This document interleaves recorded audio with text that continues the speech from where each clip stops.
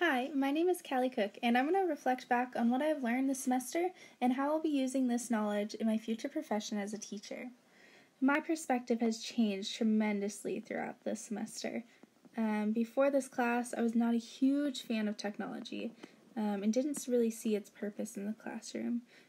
But through all that I've learned this semester, I see that there are such important tools that can be used um, and advantages to be taken by using technology in the classroom. And what a good way to meet students where they're at. And one way to do that is to teach lessons by incorporating a tool that students are familiar with and enjoy using, which is technology. Collaboration was probably my favorite unit. Collaboration with social media, specifically the ideas of virtual field trips and pen pals.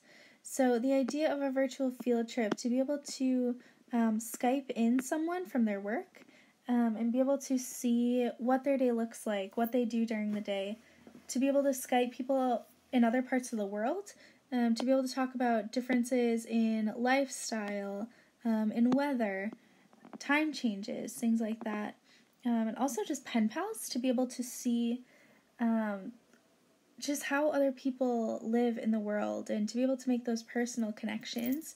Um, give students that passion to help others to broaden their perspective. Class Dojo connects teachers with students and parents to build an amazing classroom community. You're able to give feedback immediately so that you don't go about the day and kind of forget um, what a student did or how they were behaving.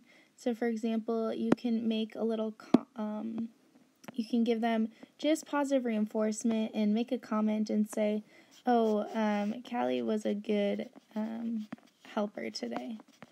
And you can put that down, and so you don't forget about it by the end of the day.